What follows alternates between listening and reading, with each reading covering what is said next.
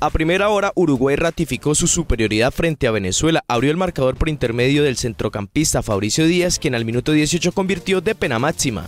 La supremacía de los charrúas se vio drásticamente alterada en el minuto 35 luego de una aproximación del delantero patriota Brian Alcocer, que terminó en una falta dentro del área y que el mismo Alcocer transformó en gol.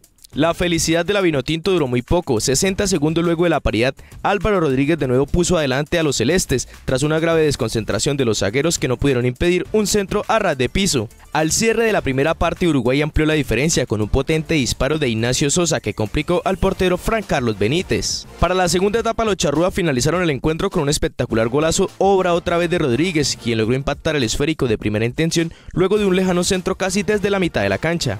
Con este resultado, Uruguay llegó a 9 puntos y es segundo de la tabla del hexagonal. Su próxima salida será ante Paraguay. En la antesala del juego entre Colombia y Ecuador, Brasil derrotó a Paraguay.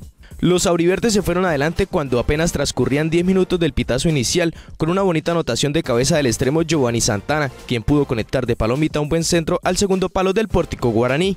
Cuando el cronómetro demarcaba la primera media hora de juego, Brasil pudo ampliar el marcador con un potente disparo de Guillermo Viro por el costado izquierdo, pero el vertical impidió la celebración carioca.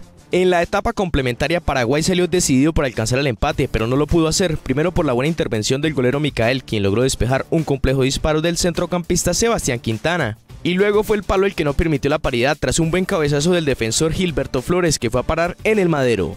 Brasil logró cerrar la victoria en el ocaso del partido gracias a un remate de cabeza de Ronald Cardoso, quien logró convertir tras un tiro de esquina. Con este triunfo, Brasil es líder del hexagonal con 9 puntos, los mismos de Uruguay, pero con mejor diferencia de gol. Su próxima salida será ante Colombia.